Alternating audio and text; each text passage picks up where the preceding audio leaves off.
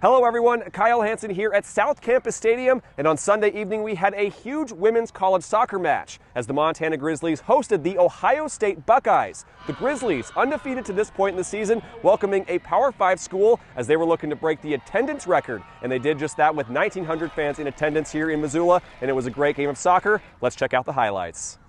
Early in the game, it's Skyly Thompson putting it into the box, and a handball on Ohio State means it's a free kick for the Grizzlies. So bring up senior Mesa Walters, and she takes care of business as she puts the Grizzlies up one to nothing in the ninth minute. Let's jump to the 26th minute now, and Ohio State finds an answer as Dakota Lions puts it in the back of the net. Then, a little later in the 30th minute, the Buckeyes take the lead as Amanda Schlueter just gets it past Ashlyn Dvorak in the bottom left corner, and the Buckeyes take a 2 1 lead into halftime. Second half, 59th minute, and it's Walters with the corner kick, just getting over the goalkeeper, and it's Delaney Lushore putting it away with the header. That ties this one 2 2 and gives the Grizzlies the momentum and sends the record breaking crowd of 1,900. 173 fans into a frenzy. The Grizzlies were in control throughout the second half, and they outshot Ohio State 14 7 in the game. The chances were abundant for Montana, including this smooth play from Thompson, who almost gets it to go to give the Grizzlies the lead. But in the end, the game finishes in a 2 2 draw between Montana and Ohio State. But from the Grizzlies' perspective, it felt like a win to play against an opponent like that at that level and also have that crowd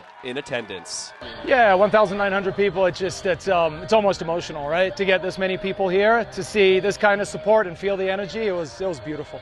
Oh my gosh, the best atmosphere I've ever played in. Um, I think at my previous school we had close to 2000, but it was not anywhere like this. The fans are just so close, it's so personal. I felt like I'd look up and I'd be like, I know so and so, I know so and so. People I saw at the farmers market on Saturday, I was like, hey, come to our game. I saw them. So that just goes to show what the community support is here in Missoula. It was like no other. I've never had an experience like this before. It's like Power Five. We're playing against Power Five. We're competing with them and we're making chances. Like, we could have scored multiple times. Like it's not like it was just luck. Like we played up to their level, and that's what shows that we have the heart to play any team. Reporting in Missoula, Kyle Hansen, MTN Sports.